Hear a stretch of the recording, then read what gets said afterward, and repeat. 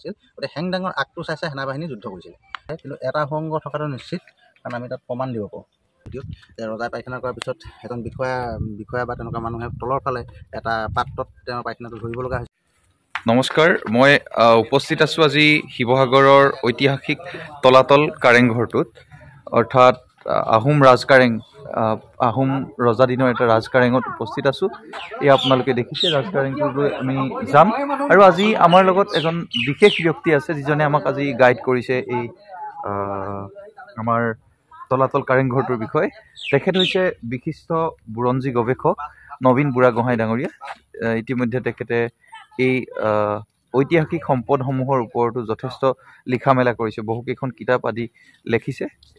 নবীন দা আছে আমাৰ লগত আমি নবীন দাৰ পৰা আজি জানিবলৈ চেষ্টা কৰিম। কি বিষয়ে? আমাৰ তলাতল হয় আমি আজি তলাতল ঘৰটোৰ বিষয়ে জানিবলৈ চেষ্টা কৰিম। আপুনি আহিছে আমাক আজি। জনাব কথাখিনি ভাল লাগিছে। এই তলাতল ঘৰটো চাফা ৰুদ্ৰসিংহই প্ৰথমতে তেওঁ কাঠ বাঁহেৰে নিৰ্মাণ কৰিছিল। অৱশ্যে তেওঁ পকী এটা ঘৰ বনাইছিল ইয়াত। আৰু ইয়াৰ পিছতে চাফা ৰাজেশ্বৰ সিংহই এই তলাতল ঘৰটো পকী কৰিছিল। আৰু এই তলাতল ঘৰৰ পৰা আচলতে ৰাজকাৰ্য চলা হৈছিল আহোম ৰজাৰ যি চতুৰ্থখন ৰাজধানী ৰংপুৰ। এই ৰংপুৰৰ পৰা ইয়াত ৰাজকাৰ্য চলোৱা হৈছিল।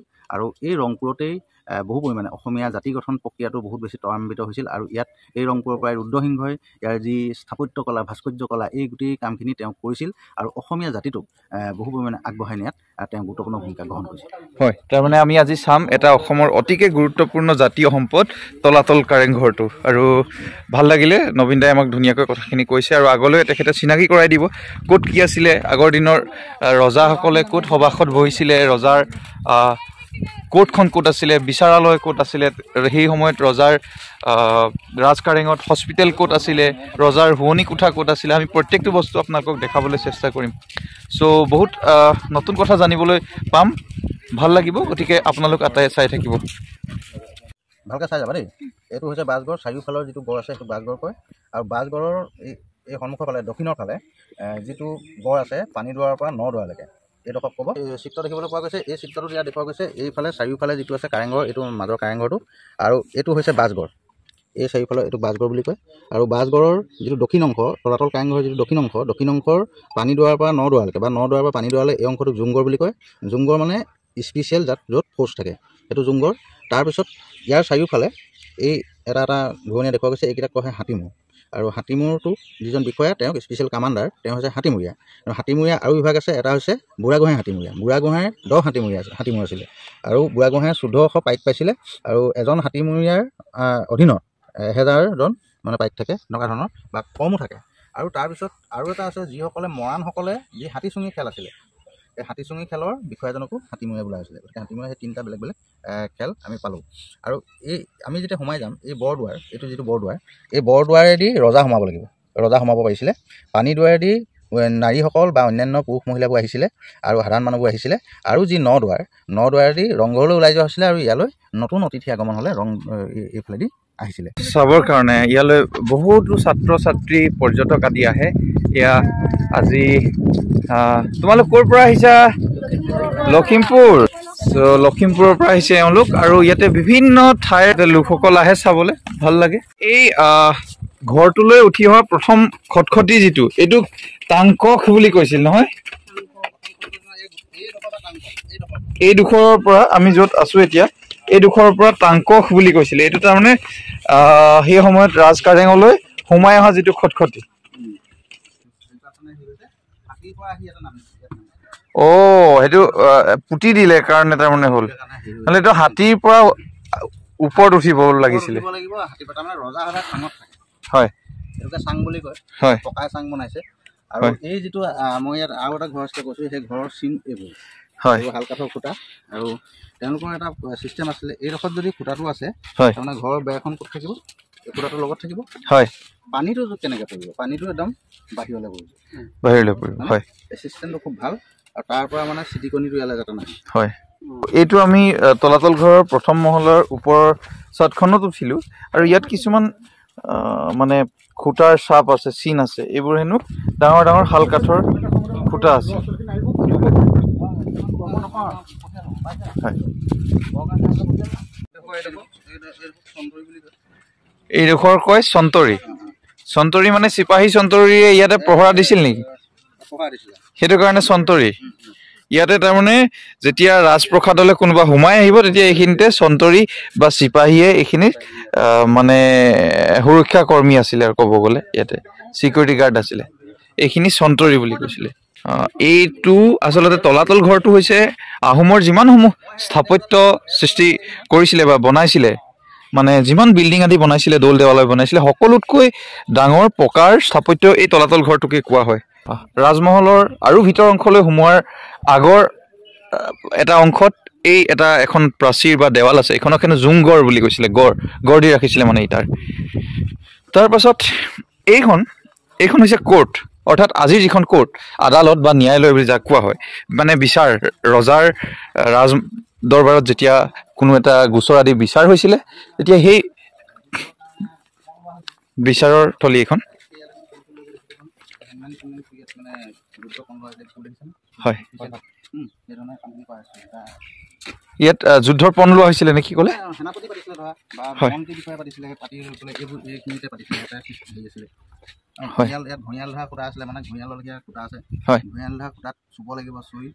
বুঢ়া গোহাঁই বা বৰ গোহাঁই তেওঁলোকে মানে যে মই দেশৰ কাৰণে হেৰি কৰি মই অধিষ্ঠিত হ'লোঁ। কথাখিনি আমাৰ যেনেকৈ শপত বাক্য পাঠ কৰে তেনেকৈ পাঠ কৰিব লাগিছিলে। মানে শপত গ্ৰহণৰো শপত গ্ৰহণ নিয়ম আছিলে সেই সময়তো।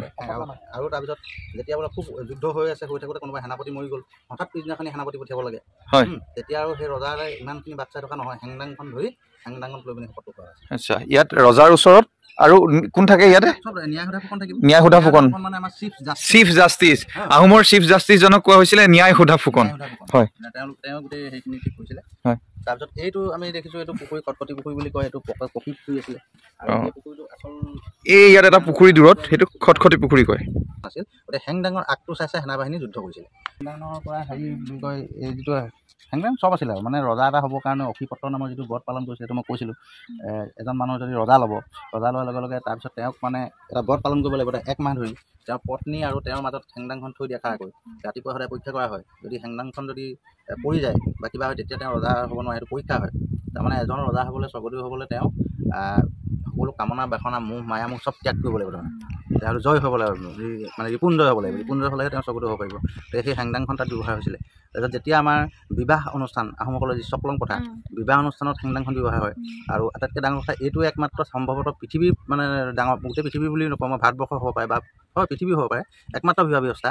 যিটো বিবাহ ব্যৱস্থাত আমাৰ অন্যান্য ভাৰতীয় যি মনোসংগীতাৰ আধাৰত যিখিনি বিবাহ ব্যৱস্থা প্ৰৱৰ্তন কৰা হৈছে তাত অকল কয় যে তুমি এ, মানুহ স্বামী ছোৱালীজনীক কয় যে তুমি স্বামীৰ সকলো কথা মানিবা।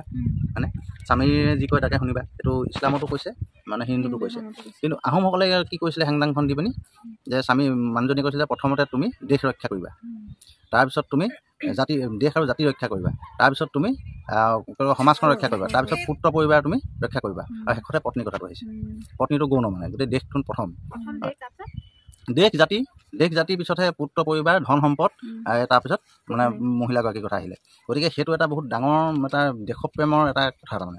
বিবাহ পদ্ধতিৰ লগত জড়িত অথচ মানে আহোমৰ সেই সময়ৰ আচলতে ৰাজনৈতিক কথাবিলাক সামাজিক কথাবিলাকো তাৰ পৰা আমি ধৰিব পাৰোঁ। পুৰস্কাৰ পোৱা আৰু যেতিয়া ধৰক ৰজা কাৰেঙত নাই দেশত নাই। তেতিয়া কি হয় এখন সোণৰ হেংদাং সদায় হেৰিখনৰ ওচৰত থোৱা হয়। সিংহাসনৰ ওচৰত। আৰু তেতিয়া সেই সোণৰ হেংদাংখনকে ৰজা বুলি ভবা হয়। আৰু বাকী নিয়ম কাজ কাৰ্য কৰা হয়। গতিকে হেংদাংখনৰ অতি গুৰুত্ব আছে। আৰু যুদ্ধত হেংদাংখন কি হৈছিলে হেংদাংখনে গৈ হেংদাং মানে বাধা হয়। হেংদাংখনে গৈ মানুহ নাকাটেগৈ। সেইটো আমাৰ ভুল ধাৰণা। হেংদাং কেইবা প্ৰকাৰো আছে কিন্তু যুদ্ধৰ যিখন সেনাপতিয়ে লোৱা হেংদাং সেইখন হৈছে এ, দুই ধাৰী তৰোৱাল দুইফালে হেৰি আছে। আৰু সেনাসকলে কি হ'ল সেই সময়ত আপোনাৰ আধুনিক কিবা ৱায়াৰলেছৰ ব্যৱস্থা নাছিল কিবা ব্যৱস্থা নাছিল গতিকে হেংদাঙৰ আগটো চাই চাই সেনাবাহিনী যুদ্ধ কৰিছিলে। আৰু সেইকাৰণে সেনাপতিজনক প্ৰথম মৰা চেষ্টা কৰিছিলে। সেনাপতিজন যদি মাৰি দিয়ে সেনাবাহিনীবোৰ মানে একো কৰিব নোৱাৰে। কিন্তু হেংদাংখন এনেকৈ সিহঁতি হেংদাংখন চাই থাকিব সেনাবোৰে। লাখ লাখ সেনা ন তাততো চিঞৰি লাভ নাই চিঞৰ বাখৰ অৱস্থাত। এই হেংদাংখন যদি সেনাপতি এনেকৈ দি দিয়ে সিহঁতি সেইফালে যুদ্ধ কৰিব। এনেকৈ দি দিলে এইফালে যুদ্ধ কৰিব। এই হেংদাংখনৰ ইচাৰাত মানে গোটেই যুদ্ধখন পৰিচালনা এই গোটেই সেই সময়ৰ যুদ্ধৰ ছিষ্টেমটো লগাইছে। পিছত এই ঘৰটো আমি এবাৰ চাম এই ঘৰটো কি ঘৰ আছিলে এবাৰ কৈ দিব। এই মানে ন্যায় সোধা ফুকন অৰ্থাৎ এই কোৰ্টৰ ওচৰতে এটা ঘৰ আছে। মেকুৰী ঘৰ মানে হৈছে স্পেচিয়েল য'ত মানে ফ'ৰ্চ থাকে। আজিকালি ভাষাত মেকুৰী ঘৰটোক ব্লেক কেট বুলি কওঁ আমি। হয়। চি এম চিকিউৰিটি হয় হয় হয় ব্লেক কেট যিটো ব্লেক পেন্থাৰ থাকে। আৰু ইয়াত যিহেতু পোতাহাখন আছিলে পোতাহাখন থকা কাৰণে ইয়াত মেকুৰী ঘৰটো আছিলে। আৰু মেকুৰীৰ অৱস্থাত মেকুৰী মানে কি? মেকুৰীটো একদম পুৰা জুপি ধুনীয়াকৈ গোটেই বস্তুটো সি লৈ আনিব পাৰে ন? হয়। তেনেকুৱা ধৰণৰ মানে পাৱাৰফুল এটা। চিকিউৰিটি গ্ৰুপ এটা সেনা চাউনি এটা আছিলে মানে এইখিনিতে। এইটো এইটো ঘৰ ইয়াতে মানে পহৰাদাৰ এটা চন্তৰীৰ এটা একদম স্পেচিয়েল কোঠা। আৰু ইয়াৰ তলত আমি য'ত আছোঁ ইয়াৰ তলত বোলে এইটো হৈছে আগৰ দিনৰ আমি তলৰ পৰা দেখুৱাম। আগৰ দিনৰ জেইল বা পোতাশাল য'ত আগতে ৰজাই মানে কাৰোবাক দণ্ড দি পোতাশালত বন্দী কৰিব পাৰিছিলে। পোতাশালত যদি সোমাই দিয়ে সি মানে পোতাশালত যোৱা মানে তাৰ লাষ্টত মৃতদেহটোহে ওলাই আহিব। তাৰমানে কেৱল তাৰ দৃষ্টিশক্তি পৰ্যন্ত হেৰাই যায় কাৰণ এইটো এই তলৰ ৰুমটো মানে অন্ধকাৰ। অন্ধকাৰ। অন্ধকাৰত ভৰাই দিয়ে। পোতাশালটো একেবাৰে অন্ধকাৰত মানে অন্ধকাৰ। মানে সেই পুটিগন্ধময়। পুটিগন্ধ মানে এইবোৰ পুটিগন্ধময় হয় নহয় নাজানো। কিন্তু অতি অন্ধকাৰ অতি অন্ধকাৰত দীৰ্ঘদিন থকাৰ পিছত মানুহটোৰ দৃষ্টিশক্তি তাৰ। শ্ৰৱণ শক্তি তাৰ মানসিক শক্তি। সকলো তাৰ নষ্ট হৈ যায়। নষ্ট হৈ যায় মানে আন্ধাৰত ৰখাৰ কাৰণে। এইটো মানে খুব মানে দেশত যদি বহুত বেয়া কাম কৰা অপৰাধীক তেনেকৈ মানে শাস্তি দিয়া হৈছে হয় হয়। ভিতৰত চ' এই এই- অংশটো কি বুলি কোৱা হৈছিলে? দ্বিতীয় দ্বিতীয় অংশটো? চন্তৰী চন্তৰীৰ পাছত? আমি এনেকৈ উঠি আহিলো। খটখটিৰ? এটা নাম আছিলে।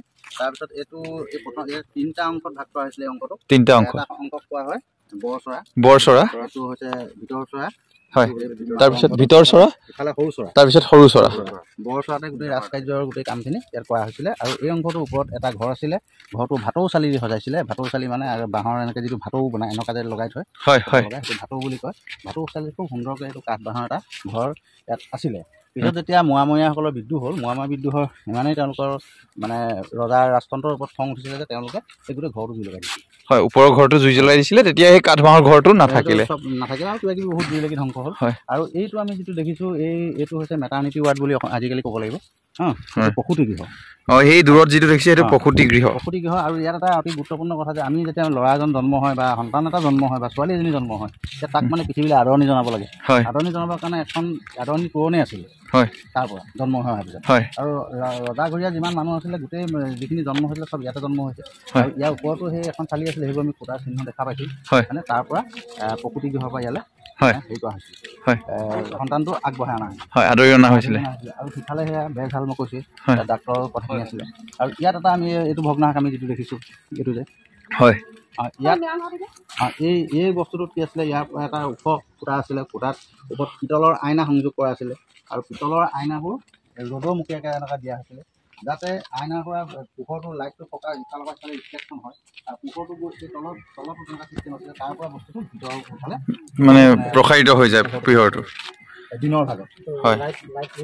মানে আহ, পিতলৰ আইনা দি অ, পিতলৰ মানে চিকচিকীয়া আইনা এনেকৈ দিয়ে।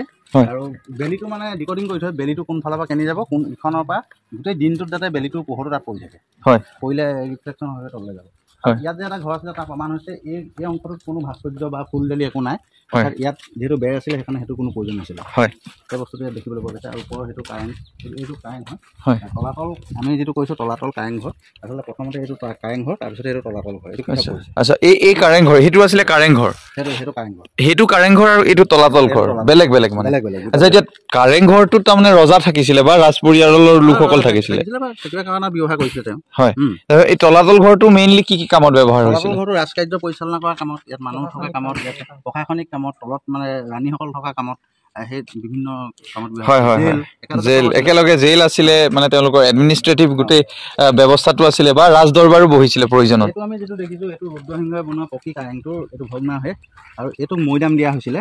আৰু সেইকাৰণে কাৰেং মেদাম বুলি কয় বা কাৰেং মৈদাম। এই ঘৰটো ভাঙি দিশত দলং এখন বনাম বুলি এই ধুনীয়া এইটো খুব ধুনীয়া আছিলে ঘৰটো। এই ঘৰটো ভাঙি লৈ গুচি গ'ল আৰু তাৰপিছত কিন্তু তেওঁ দিশত দলং নবনালে।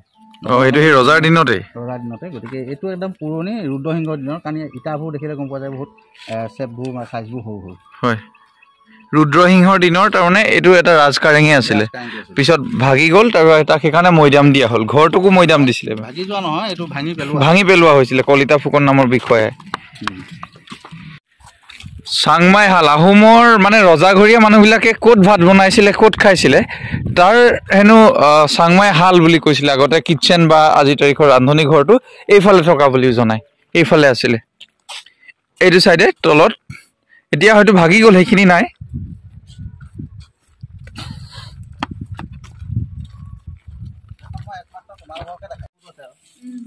অ এইটোৰ পৰা আকৌ শত্ৰুৱে যদি হঠাৎ আক্ৰমণ কৰে তেতিয়া পলাবৰ কাৰণে সুৰংগ আছে। দিখৌলৈ যাবগৈ দিখৌ নদীলৈ বনাইছিলে।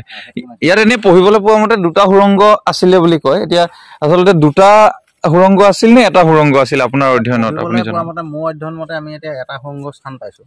হয়। আৰু মোক অন্যান্য মানুহক কোৱা কথা কি আমি প্ৰমাণ কৰিব নোৱাৰোঁ। আৰু এটা সুৰংগৰ কথা কয় যিটো আমাৰ আহি থকা যিটো ৰাস্তা ৰাস্তাৰ তলেদি এটা সুৰংগ থকাৰ কথা কয়। হয়। সেইটো খালি এতিয়া কোনো প্ৰমাণ নাই। হয়। সেইটো এটা কথিত কথা। গতিকে দুটা সুৰংগ সেই দুটা হ'ব পাৰে। কিন্তু এটা সুৰংগ থকাটো নিশ্চিত কাৰণ আমি তাত প্ৰমাণ দিব পাৰোঁ। হয়। সেইডোখৰ যে সুৰংগটো আছিল। সেই সুৰংগৰে গৈ দিখৌ নদীত ওলাইছিলে আৰু বহু মানুহে এইটো মানে বৰ মিছা কথা বুলি ক'ব খোজে। যে সেই মই সুৰংগ নবনাইছিলে নি। তেনেকুৱা কথা নহয়। সেই আহোম যুগৰ আগতেই যি আপোনাৰ চন্দ্ৰগুপ্ত মৌৰ্যই চাওক বা অন্যান্য দক্ষিণ ভাৰতৰ শিৱাজী তিৱাজী যিখিনি প্লেচ আছে তাত আপুনি দেখিব যে তলৰ ফালে পলাব পৰা ব্যৱস্থাটো আছিল। আণ্ডাৰগ্ৰাউণ্ড মানে সেই বস্তুটো আছিলে ব্যৱস্থাটো আমি আজিৰ যুগৰ মানে সুৰংগ বুলি ভাবিলে নহ'ব। হয়। সেইটো মোটামুটি মানুহ এটা পলাই যাব পৰা এটা ব্যৱস্থা তেওঁলোকে কৰি লৈছিল। হয়। আৰু অঁ সোতৰ সোতৰ চনৰ। সোতৰ শতিকাৰ। আৰু কথা হ'ল কি আগতে যিহেতু ৰাস্তাৰ মানে হেৰিটো বহুত কম আছিলে। এ, ৰাস্তাৰ কনচেপ্টটো কম আছে ৰাস্তা কম আছিলে। গতিকে পানীতেই মূল কথাখিনি আছিলে। পানীয়ে দিয়ে মানুহ অহা যোৱা কৰিছিলে। আৰু তাতে আৰু মানে পানী চকী বুলি কয় পানী চকী আছিলে। গতিকে সেনাবোৰ তাতে থাকে। সেইকাৰণে জলপথটো বাছি লৈছিল আৰু এইফালৰ পৰা গৈ সিটো কাৰেং পাই যাবগৈ। হয়। কেনিবা কেনিবা ওলাই যাব পাৰিব। মানে জলপথলৈকে তেওঁলোকে হয়তো সুৰংগটো নিৰ্মাণ কৰিছিলে। আমি এটা মিছা কথা এটা তাৰমানে ইমান দিন প্ৰতিষ্ঠা হৈ থাকিব নোৱাৰে। হয়। যদি কথা এটা মিছা হয় ইমান দিন প্ৰতিষ্ঠা হ'ব নোৱাৰে।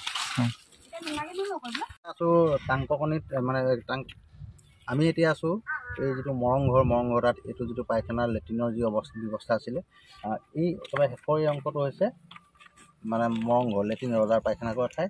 আৰু তলৰ ফালে যেতিয়া ৰজাই পায়খানা কৰিছিলে মই আগৰ ভিডিঅ'টো আপোনালোকক জনাইছোঁ কোনোবা কোনোবা ভিডিঅ'ত যে ৰজাই পায়খানা কৰাৰ পিছত এজন বিষয়া বিষয়া বা তেনেকুৱা মানুহে তলৰ ফালে এটা পাত্ৰত তেওঁৰ পায়খানাটো ধৰিব লগা হৈছিলে আৰু সেই পায়খানাটো পৰীক্ষা কৰা হৈছিলে। পৰীক্ষা কৰি পিছদিনাখনি ৰজাক কেনেধৰণৰ খাদ্য দিব সেই কথাটো উলিওৱা হৈছিলে আৰু তাৰ প্ৰমাণ হিচাপে সেই সময়ৰ যি আহোম ৰজাৰ দিনৰ যি ঘটনা সেইটো আজিকালিও হয় বিশ্বত এজন মানুহ আছে সেইজন হৈছে আমাৰ ভলাডিমিৰ পুটিন ভলাডিমিৰ পুটিনৰ পায়খানাও এতিয়া পৰীক্ষা কৰা হয়। আপোনালোকে যদি কথাটো বিশ্বাস কৰা নাই আপোনালোকে গুগলত ইণ্টাৰনেট মাৰি চাই ল'ব পাৰে ভলাডিমিৰ ভলাডিমিৰ পুটিনে কি কৰে।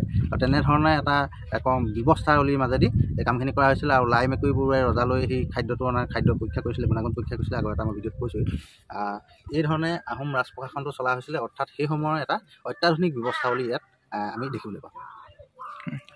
এইখন মানে মেটাৰনিটি হস্পিটেলখন য'ত আগতে মানে ৰাজকুঁৱৰী বা ৰাণীসকলে যেতিয়া ল'ৰা জন্ম দিছিলে বা শিশু জন্ম হৈছিলে তেতিয়া এই ঘৰটোত হেনো জন্ম দিছিলে। এইটো চাওক সেই সময়ৰ তাৰমানে এখন মেটাৰনিটি হস্পিটেল এইটো খুব ধুনীয়া ঘৰ। আৰু ইয়াৰ কাষতেই অথনি কৈছিলে যে এইটো এই এই- এইটো খুটাৰ চাপ চিনবিলাক ৰৈ গৈছে। এই খুটাৰ চিনবিলাক ইয়াত এখন চালি আছিলে। শাল কাঠৰ খুটা আছিলে সেই খুটাবিলাকৰ চিন এয়া। এইটো এটা এটা চিন হয় ইয়াত খুটা আছিল। পিছত সেইখিনি নষ্ট হৈছে বা ধ্বংস হৈছে। ইয়াৰ পাছত যেতিয়া শিশু জন্ম হৈছিলে জন্ম হোৱাৰ পাছত এইটো এটা বাটচৰা। এই চৰা ঘৰটো আছিলে এই চৰা ঘৰটোৰেদি এনেকৈ আদৰণি জনাই আদৰণি তোৰণ এখন আছিলে মানে। এইটো ৰাজকাৰেঙলৈ বা ৰাজপ্ৰসাদলৈ আদৰণি জনোৱা হৈছিলে।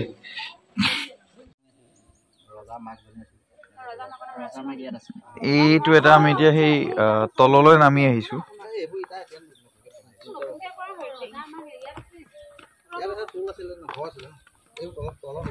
অ এইটো ঘৰ আছিলে এটা? মাটি বুলনি পাত বুলি কৈছিলে ঘৰটোক। আৰু এই ঘৰটোক কি কৰিছিলে?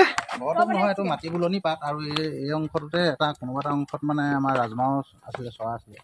ৰাজমাও। চৰা মানে ৰজাৰ মানে মাক যি আছিলে সেই ৰাজমাতৃৰ মানে চৰা বা ঘৰ আছিলে। মানে হৈছে কি আমি যে এই ম- আমাৰ যদি ঘৰত আমি ড্ৰয়িং ৰুমটো যে সজাওঁ হয় নহয়? আমি যেতিয়া দিনটো কষ্ট কৰোঁ কষ্ট কৰি আমি ৰিলেক্স হ'ব লাগে। ৰিলেক্স হ'বৰ কাৰণে আমি কি কৰোঁ? হয় আমি অকলে অকলে ক'বলৈ যাওঁ গান এটা শুনো। ইয়াত ৰজাসকলে কি কৰিছিলে বা ৰজাসকল তেওঁলোকৰ মানুহবোৰ ইয়াত পাই চাই কৰিছিলে বহিছিলে বা কথা পাতিছিলে ঘূৰিছিলে তেনেকুৱা মানে। সেই ওপৰৰ পৰা এনেকৈ নামি আহি আকৌ সেই ওপৰতো চাং বুলনি পাত আছে। তাতো ধুন- ধুনীয়াকৈ তাত থাকে ধুনীয়া ধুনীয়া বস্তু সজ্জিত কৰি থয়। সেই বস্তুবোৰ চাই তেওঁলোকে চাই মেলি আনন্দ মানে কৰে ৰুম বুলিও নহয় এখন তেনেকৈ চালি তালি আছিলে। আগফালে আমাৰ এতিয়া আমি এচটা ইটা এইটো মানে ইয়াৰ পৰা ক'ৰ পৰা আছে এইডোখৰৰ পৰা ইয়ালৈকে ছটা ইটা এইডোখৰ বুজিছানে? ঘাট কাটি কাটি। ঘাট সেই চেপতে বনাইছে ইটা। কৰ্দৈ হিৰত বস্তুটো বনাইছে বুজিছানে? এইটো কৰ্দৈ হিৰিয়া কৰি আকৌ ইটাবোৰো তাৰমানে এইটো এটা যদিও এইটো মানে এইটো ডাঙৰ ইটা এইটো গোটেই ডাঙৰ ইটাটো এটা।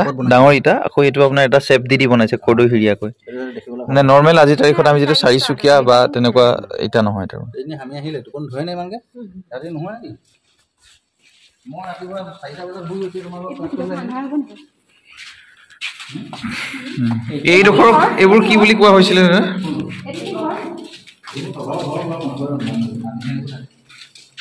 এইবোৰ এইটো তলাতল ঘৰৰ তলাতলখিনি এইখিনি তাৰ গোটেই তলাতলখিনি আৰু ইয়াত আচলতে একদম পাজোল আছে।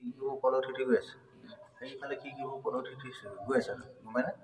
খিৰিকিবোৰ যে ওপৰলৈ উঠি উঠি গৈ আছে। গৈ থাকোঁতে এইফালেদি খটখটিটো গৈ আছে। গম পালা? এইফালে আছে। খটখটিটো গৈ আছে ওপৰ মহল পালোঁ তাৰপৰা আকৌ খটখটিটো ওপৰলৈ গৈ আছে। গৈ গৈ ওপৰ পালোঁ এইটো মানে এই তলেদি এইটো সুৰংগ জেগাটো এইটো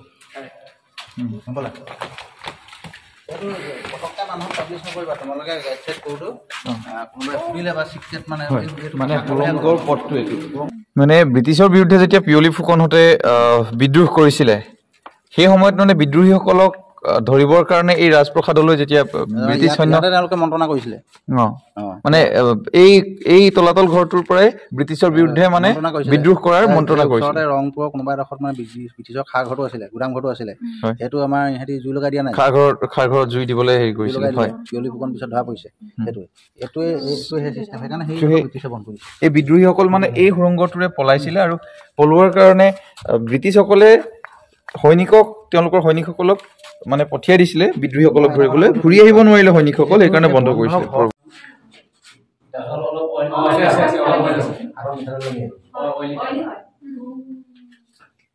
ইয়াত মানে সেই বনোৱা সময়তে মিঠাতেল ব্যৱহাৰ কৰা ন? তোমালোকে তোমালোকে হেৰিবোৰক সেইবোৰ কথা ক'ব এই তেলবোৰ এইবোৰ এইবোৰ ইটা কাৰেংঘৰটো বনাওঁতে ইটাবোৰ কি হৈছিলে? মিঠাতেলত ভাজিছিলে। ভাজি যদি ইয়াত দি দিয়ে ই মানে কি হয় আমাৰ এই জেগাবোৰ আৰ্দ্ৰভূমি নহয় ইটাটো কুৰকুৰীয়া হৈ বেয়া হৈ যাব। সেইকাৰণে মানে মিঠাতেলত ভাজি দিয়াৰ কাৰণে এই বস্তুটো বেয়া নহয় তাৰমানে কৰাটো এৰি দিয়ে বুজিছা নাই? হা ইয়াত মানে সেই কথাটো মই তেনেকৈ কৈছোঁ তোমালোকে প্ৰমাণ হিচাপে মই কৈছোঁ এই কিতাপখনত বুৰঞ্জী বুৰঞ্জী পৰা এটা তথ্য খুলি থোৱা আছে ইটা ভাজিব লোহাৰ হাতলিডাল ধৰি। এই কথাটো প্ৰমাণটো এইটো ইটা ভাজিছিলে তাৰমানে। মানে মিঠাতেলে ইটাবোৰ ভাজি লৈছিলে। কাৰেংঘৰত পাবা কিনি ল'বা তোমালোকে যিকেইটা বস্তু কৈছোঁ মই গোটেইকেইটা লিখি থৈছোঁ ন পালা গম পালো এই তলাতল ঘৰৰ গোপন সুৰংগটোৰ কথা যিটো সুৰংগৰে আগতে ৰজাঘৰীয়া মানুহবিলাক বা ৰজা বা তেওঁলোকৰ ৰাজ পৰিয়ালৰ লোকসকলে শত্ৰু আক্ৰমণৰ সময়ত বা বিপদৰ সময়ত গোপনে পলাবলৈ ব্যৱহাৰ কৰিছিল। সেই পথটো আমি আজি দেখুৱালো আপোনালোকক। এইফালে সোমাব পাৰি কিন্তু বৰ্তমান এই সুৰংগ পথটো বন্ধ আছে এইটোত সোমাব নোৱাৰি। চ' এইবোৰ এইবোৰ এই- এইটো সিহঁতে একো একোটা কোঠা আছিলে তলাতল ঘৰৰ মানে তলৰ কোঠাবিলাক। ইয়াতে আচলতে ৰাণী আদি আছিলে। ৰাণী বা তেওঁলোকৰ যাক পাট মাদৈ কৈছিলে মাদৈসকল আছিলে আৰু ইয়াত দৰ্জা আছিলে এইবিলাক। এই এইবোৰ যে দেখিছে এইবোৰ দৰ্জা আছিলে দৰ্জাৰ এতিয়া আমি তলাতল ঘৰৰ ওপৰৰ ঘৰটোলৈ আহি আছো। ওপৰৰ ঘৰ এইটো ওপৰৰ তাৰমানে। এইটো কাৰেং আছিলে।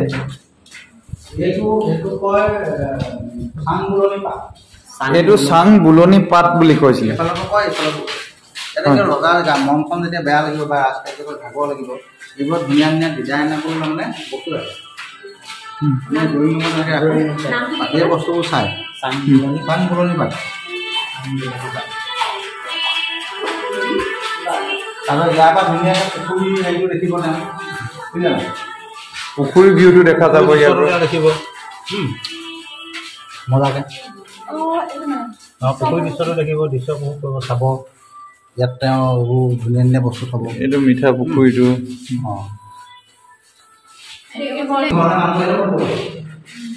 চাং বুলনি পাত। আৰু এই এইবোৰ হৈছে একো একোটা আগৰ সময়ত পোহৰৰ ব্যৱস্থা কৰিবৰ কাৰণে চাকি বন্তি আদি জ্বলাবলৈ ব্যৱহাৰ কৰা এই কাৰেংঘৰটোৰ ভিতৰত বা তলাতল ঘৰটোৰ ভিতৰত চাকি বন্তিৰ কাৰণে মানে পোহৰৰ কাৰণে ব্যৱস্থা কৰিবলৈ এইবোৰ ব্যৱহাৰ কৰিছিলে। তেনেকৈ গোটেই ৱালখনৰ চাৰিও কাষতেই গোটেই বস্তুবোৰ আছে এনেকৈ। এই ইয়াত মানে চাকি বন্তি আদিৰে মানে পোহৰাই ৰাখিছিলে পোহৰ পোহৰ পেলাবলৈ ব্যৱহাৰ কৰিছিলে মানে পোহৰাবৰ কাৰণে চাকি জ্বলাবলৈ ব্যৱহাৰ কৰিছিলে। এইটো এতিয়া খটখটিটো তললৈ নামিবলৈ ব্যৱহাৰ কৰা খটখটি আমি উঠি আহিছিলোঁ। চ' এইটোত মানে সাৱধানে যাব লাগিব সাৱধানে নগ'লে এনেকে মূৰত লাগি যাব সেইকাৰণে মূৰ দোৱাই দোৱাই যাব লাগিব মানে। ৰজাৰ ওচৰলৈ যেতিয়া যাব কোনোবা তেতিয়া এনেকৈ মূৰ দোৱাই ওলাই যাব লাগিব আপোনাৰ প্ৰত্যেকটো আগৰ অকল আহোম জানিছেই নহয় সকলো ভাৰতৰ আপোনাৰ পাব যিমান মঠ মন্দিৰ আছে তেনেকুৱা ৰাজভৱন আছিলে সত্ৰই যদি আক্ৰমণ কৰে সেইটো পলাব লাগিব ন চবফালৰ পৰা যদি বেৰি ধৰে তাৰ এটা গোপন সংগ থাকে মানে খুফিয়া ৰাস্তা ৰাস্তা থাকে। হিডেন প্লেচ থাকে সেইটো যদি সোমাই এইফালে ওচৰত ডিফু নৈখন প্ৰায় এক কিলোমিটাৰমান ওচৰত। তাত গুচি যায়। ডাইৰেক্ট কানেক্টিং হয় Connecting ডাইৰেক্ট ইফালে ওলাই আৰু যাব। আগতে মানে আহোম আহোম ৰাজত্বকালৰ সময়ছোৱাত আছিলে ৰাস্তাৰ কনচেপ্টটো বৰ নাছিলে। কনচেপ্টটো আহোমেহে আনিছে। আগৰ অকল জলপথ আছিলে সেই জলপথেদি গুচি যায় আচ্ছা। আৰু গোটেই যিমানবোৰ আক্ৰমণ হৈছে চব জলপথে হৈছে। ৰাস্তা নাই। ৰাস্তা কনচেপ্ট নাই। হা মিৰ্জুমলাও আহিছে ধৰক জলপথে হৈছে আৰু সেইকাৰণে জলপথত আচলতে পানী চকী দিয়া হৈছিল মানে যিটো পহৰা দিয়ে জলপথত আচ্ছা। ইয়াৰ সেইটো কথাই। কোনোবাই কয় যে ৰাস্তা নাই মিছা কথা সেইবোৰ নহয় তাৰমানে হয়। কাৰণ চব ফালৰ পৰা আপুনি গোটেই গড়টো চাব গড়টোৰ পিছত মানুহটো পলাব ক'লে? এইটো ৰজাটো আমাৰ পলাইছে ন? এজন ৰজাই মানে চাৰিওফালৰ পৰা যেতিয়া মিৰ্জুমলাই আক্ৰমণ কৰিছে আক্ৰমণ কৰি লওক গড়গাঁও দখল কৰিলে ৰজাটো ক'লে?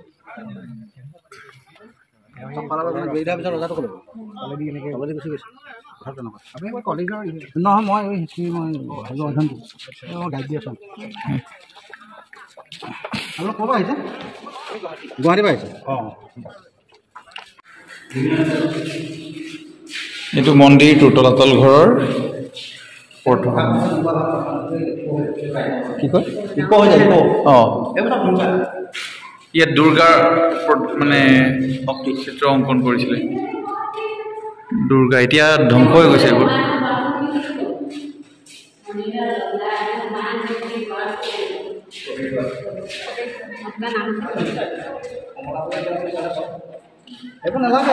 ইমানো নালাগে।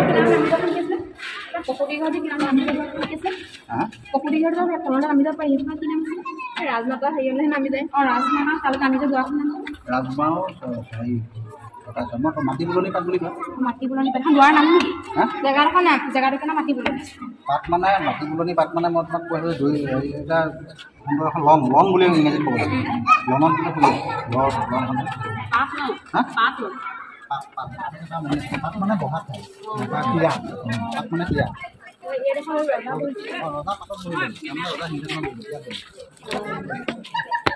এইটো আচলতে মই মই অঁ মানে mike mike mike hello' hello' মাতটো ডাঙৰ আহিছে নে নিৰ্দেশ দিবলৈ হ'লে ইয়াৰ পৰা নিৰ্দেশনা আহে। হেল্ল' হেল্ল' টেষ্টিং টেষ্টিং তাৰমানে বনাইছিলে এতিয়া। মাত এইটো মাইক্ৰফোন। মাইক্ৰফোন।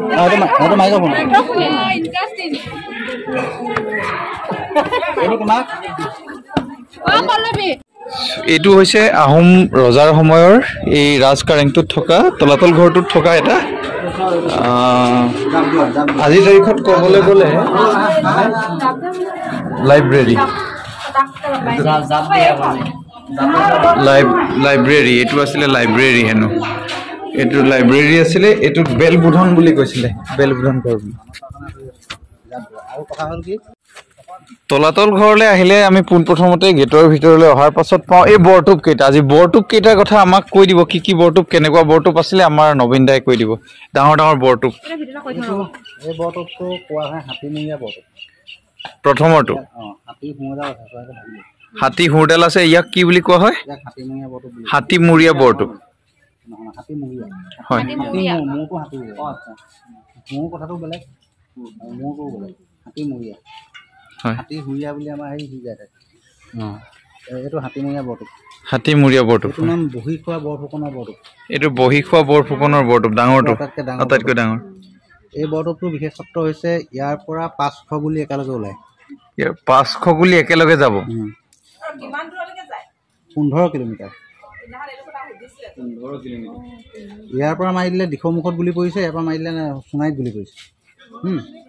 আৰু এই বৰটোপটো যেতিয়া মাৰি সোণাৰীলৈ মাৰি দিছিলে মাৰি দিওঁতে কি হ'ল মানুহ এজনীয়ে গৰ্ভৱতী মহিলাগৰাকীয়ে পানী নিবলৈ আহিছিলে পেট ফালি সন্তান সন্তান ওলাই মানুহজনী মৰি গ'ল। তেতিয়াৰ পৰা এই বৰটোপটোক মানে ইউজ কৰাটো বন্ধ কৰি দিলে।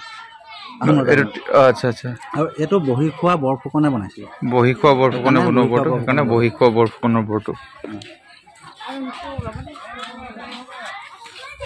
এই বৰটোপটো এই বৰটোপটো হৈছে এটা টুবুকি বৰটোপ টুবুকি মানে এই ইয়াৰ যিবোৰ ঘাটবোৰ আছে খাৰুবোৰ আছে এইটো টুবুকি লতাৰ লেখীয়া অঁ টুবুকি লতাডালৰ লেখীয়া হয়।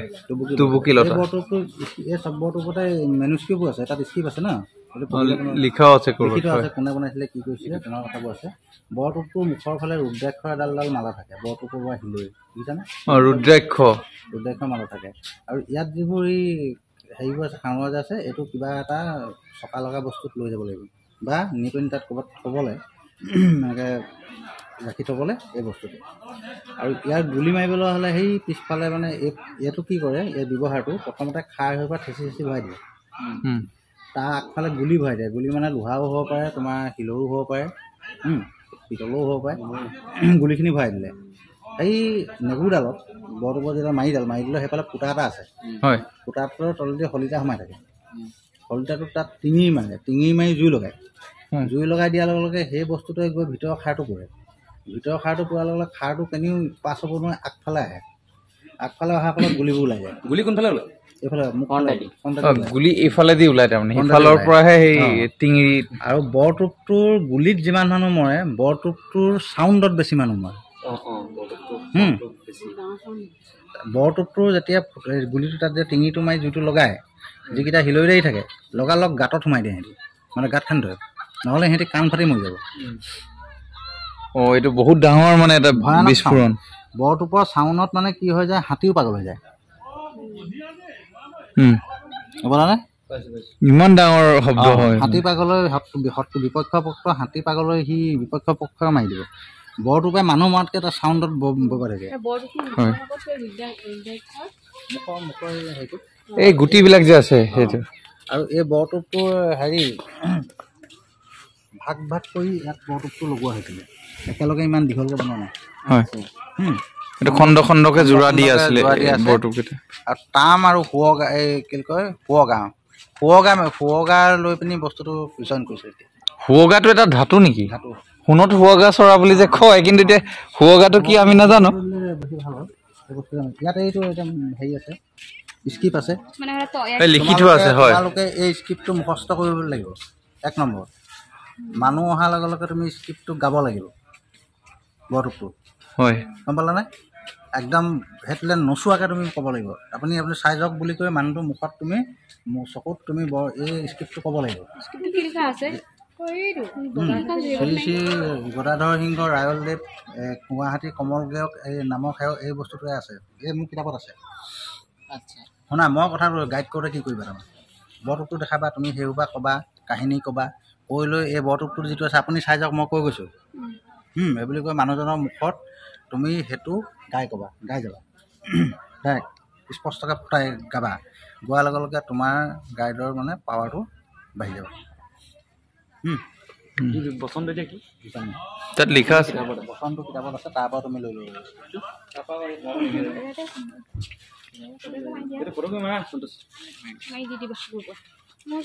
পাৱাৰ আহি যাব এই কেইটামান বস্তু তোমালোকে মুঠতে চন কেইটামান মনত ৰাখিবা।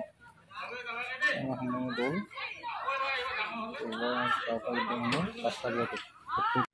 চ' ইমানখিনি আজি আপোনালোকক এই তলাতল ঘৰটোৰ সম্পৰ্কত ভিডিঅ'টো দেখুৱালোঁ। কেনে পালে আপোনালোকে জনাব আৰু কমেণ্ট কৰিব। যদি আপোনালোকে ভিডিঅ'টো চাই ভাল পালে তেতিয়া নিশ্চয় লাইক কৰিব আৰু চেনেলটো ছাবস্ক্ৰাইব কৰি দিব। ধন্যবাদ।